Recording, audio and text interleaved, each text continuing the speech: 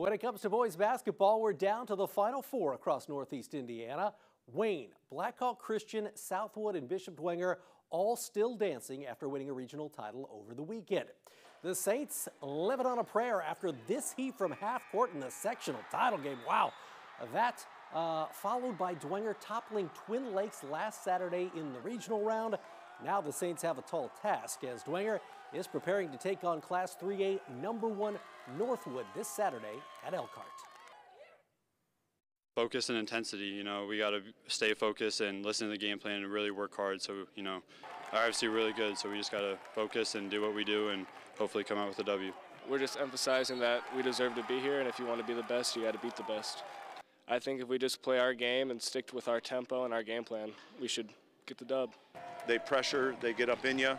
They're strong, they're physical, so we got to we got to handle the basketball. Uh, we got to take care of the basketball, and then on the other end, we got to we got to defend. They got some very talented players.